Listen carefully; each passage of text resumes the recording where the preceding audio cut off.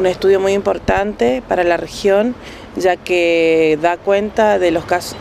los casos de femicidio, eh, tanto en Chaco como en Corrientes, y la verdad, desde que está el pedido este, del observatorio a nivel nacional por parte eh, de las que conformamos la campaña de emergencia en violencia sexual y doméstica. Es uno de los pocos estudios que en la región, en realidad es el único, que tomó los casos para, poder contar a las mujeres qué es lo que nos pasa y también nos pone al tanto de, las gravísimas condiciones en las cuales en relación a los femicidios y a la a las condenas, pocas condenas que tenemos principalmente acá en Corrientes, eh, se están dando.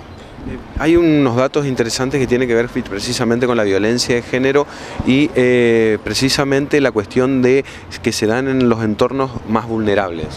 Sí, eh, en cuanto a las condiciones este, económicas, pero también una de las cuestiones que marcaban acá en relación a, la región es la cuestión étnica. La mayoría son mujeres este, originarias. Otro dato también muy importante que nos revelaba el informe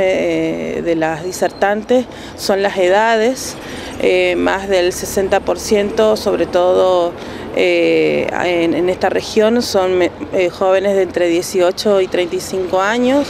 y en esto recordamos que incluso bajan esa, esa, data acá en Corrientes, tanto el caso de Irina López como el de Tamara Salazar, que son jóvenes que han sido este, muertas en forma violenta y que es uno de los, son los últimos casos más renombrados aquí en la región.